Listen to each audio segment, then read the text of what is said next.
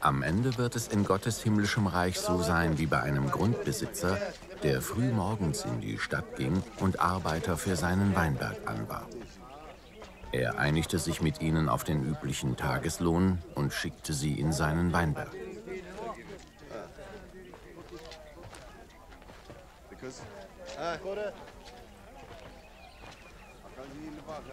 Gegen 9 Uhr morgens ging er wieder zum Marktplatz und sah dort noch einige Leute stehen, die keine Arbeit hatten.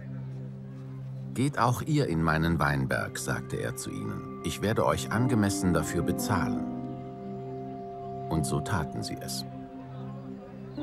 Zur Mittagszeit und gegen 3 Uhr nachmittags machte sich der Mann erneut auf den Weg und stellte weitere Arbeiter ein. Als er schließlich um 5 Uhr ein letztes Mal zum Marktplatz kam, fand er dort immer noch ein paar Leute, die nichts zu tun hatten. Er fragte sie, warum steht ihr hier den ganzen Tag untätig herum? Uns wollte niemand haben, antworteten sie. Geht doch und helft auch noch in meinem Weinberg mit, forderte er sie auf. Am Abend beauftragte der Besitzer des Weinbergs seinen Verwalter, ruf die Arbeiter zusammen und zahl ihnen den Lohn aus. Fang bei den Letzten an und hör bei den Ersten auf. Zuerst kamen also diejenigen, die gegen 5 Uhr eingestellt worden waren, und jeder von ihnen erhielt den vollen Tageslohn. Dann traten die vor, die schon früher mit der Arbeit begonnen hatten. Sie meinten, sie würden nun mehr bekommen, aber auch sie erhielten alle nur den vereinbarten Tageslohn. Da beschwerten sie sich beim Grundbesitzer. Die Leute, die du zuletzt eingestellt hast, haben nur eine Stunde gearbeitet und du zahlst ihnen dasselbe wie uns. Dabei haben wir uns den ganzen Tag in der brennenden Sonne abgerackert. Mein Freund, entgegnete der Grundbesitzer einem von ihnen, ich tue dir doch kein Unrecht. Haben wir uns nicht auf diesen Betrag geeinigt? Nimm dein Geld und geh. Ich will nun einmal auch dem Letzten genauso viel geben wie dir. Darf ich mit meinem Besitz denn nicht machen, was ich will? Oder bist du neidisch, weil ich so großzügig bin?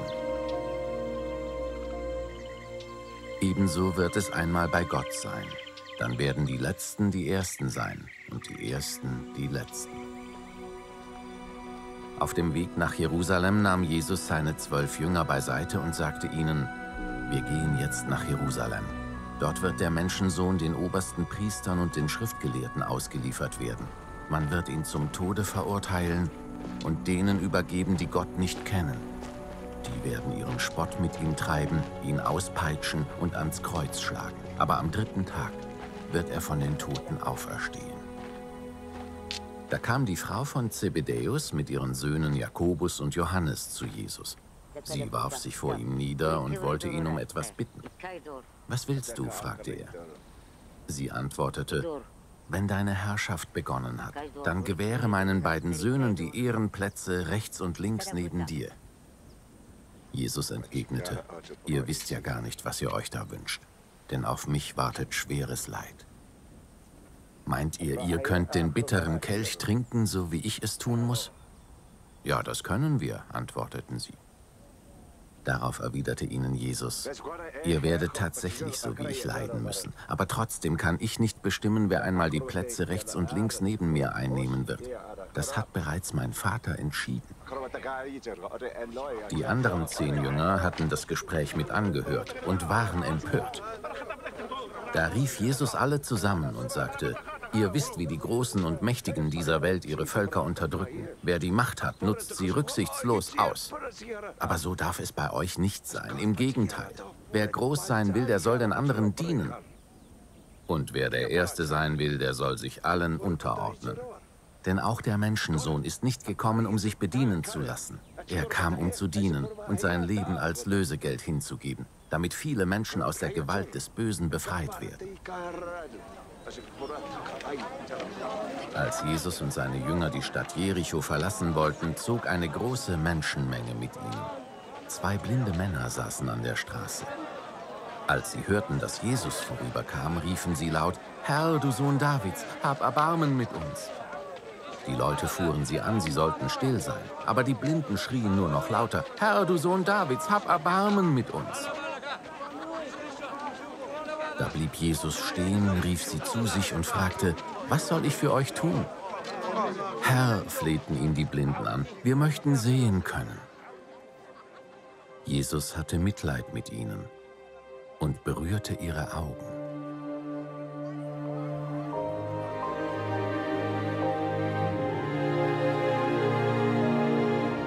Im selben Augenblick konnten sie sehen und sie folgten ihm.